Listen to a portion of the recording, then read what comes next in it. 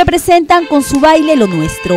Es la pequeña reina del segundo Festival Pañuelos de Oro Trujillo 2014 organizado por la Escuela Internacional de Arte y Folclor Peruano, que este 27 de septiembre rendirá homenaje a nuestro baile bandera en su día.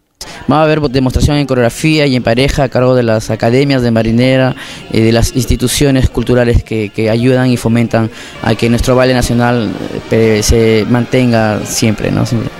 No es un concurso, es un festival donde se hace honor, me imagino. Claro, así es, es justamente para festejar nuestro, nuestro baile nacional. Camila I fue coronada por la subgerente de turismo de la Municipalidad de Trujillo, Angélica Villanueva, y será la representante de este evento que se realiza por segundo año en el centro comercial Mola Ventura Plaza.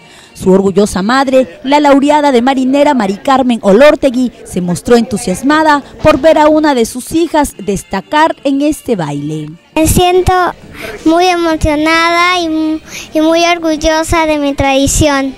¿Desde los cuántos años bailas? Este, he escuchado marineras de chiquita, pero realmente el año pasado, el año pasado empecé a entrenar. ¿Y quién te enseñó a bailar? Mi mamá. Camila desde que estaba en la barriga y desde chiquita escucha marinera, pero ella de chica, este, la gente le decía tu mamá, tu edad, tu mamá, tu edad, y ella decía, yo no quiero bailar marinera, pero cuando yo tuve la entrega de los laureles, ella bajó y dijo, mamá, ahora sí, quiero yo bailar marinera. El evento es totalmente gratuito a partir de las 4 de la tarde y cuenta con el respaldo del Ministerio de Cultura.